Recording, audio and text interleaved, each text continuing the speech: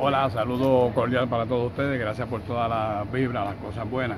Así que esto es un nuevo comienzo, desde hoy empezamos nuevamente, así que manos arriba y muchas gracias a todos ustedes. Así que hay chiquital para mucho rato.